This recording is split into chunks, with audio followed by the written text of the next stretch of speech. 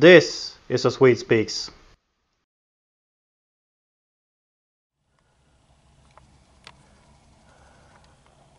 Right outside my hotel window there's a bunch of police cars. I don't know if they are planning on using these today, but they might.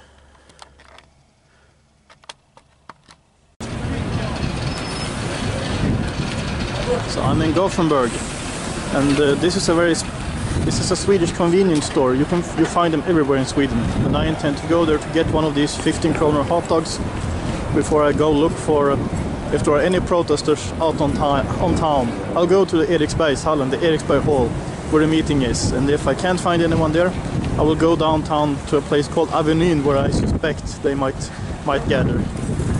Uh, there is also an information sign here telling us that uh, during these days uh, public transportation will be disturbed by the EU EU summit. And I think we have some uh, policemen or something over here, some kind of security guard. Yeah, there is something.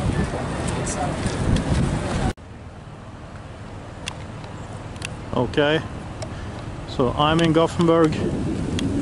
Uh, the meeting is in this building, in the Eriksbergshallen, the Eriksberg Hall.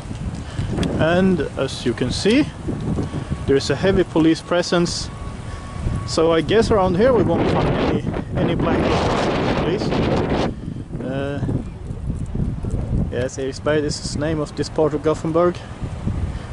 So I will take a bus or a tram downtown and see if anything is going on there. I actually I hope nothing is going on because this city has been tormented by black bloc people way too much.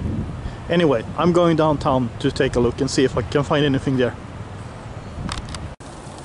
Although some of these uh, left-wing uh, crazy people uh, sprayed anti-fascism is self-defense on a container. Uh, I guess they think this is a good idea. I don't think uh, that's a good idea, but you know. And uh, someone sprayed Jesus is fat. I'm not sure what they mean by that, but uh, well, fat is slang for something good, so I hope they mean something good by it. Okay, going downtown.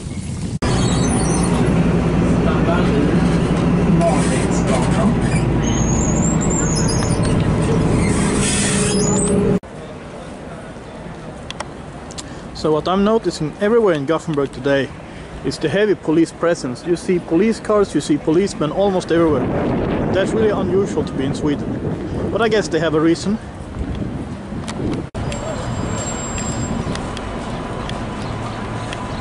I'm standing by Gustav Adolf Square, Gustavus Adolphus Square. Here is Gustav Adolf, or Gustavus Adolphus. Oh, here he is. I almost didn't see him.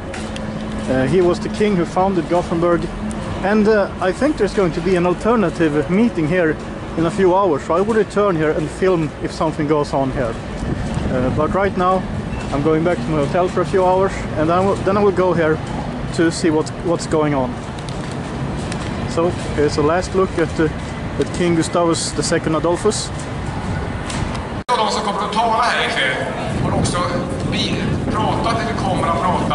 Seminarier och forum som varit under det här alternativa EU-toppmötet. So what's going on here is the alternative EU summit in Gothenburg, something that the left arranged. And uh, well, I'm not fond of, uh, of the EU. I don't think I'm, I'm fond of these people either. There are people selling communist papers and well, they have gathered around the, the statue of King Gustavus Adolphus. There doesn't seem to be that much people. A few hundred perhaps. I guess that's it. Now I'll, I'll go have fish and chips and celebrate my 40th birthday. I think that's what I'm going to do. Okay, this is actually interesting. Um, they have a Norwegian speaker. I know I know who this guy is. You know, I used to be a socialist, but I gave up on that crazy idea. So I have met this guy, and he just called the EU a neoliberal uh, project or a market liberal project. which is, I guess, as far, as far from the truth as you could get when the EU is rather a centralist, a globalist thing, but it's got nothing to do with, with market liberalism, which is something else than the liberalism of the Democratic Party, of course. But well, he's dead wrong. I just wanted to point that out. The sign says uh, Sweden to leave EU, Swexit. Well, I agree with that. So, well, I agree with that at least, although probably not for the same reasons. So yesterday when I got to Gothenburg, I had Swedish pizza at the hotel, and today I am celebrating my 40th birthday with fish and chips in this place. And uh, I think that's about it. I might go to that store too because they have some funny stuff.